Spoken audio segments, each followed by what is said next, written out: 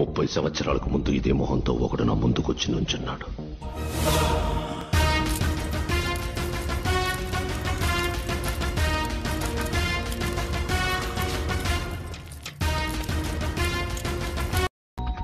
తిరిగి మళ్ళీ అదే మొహంతో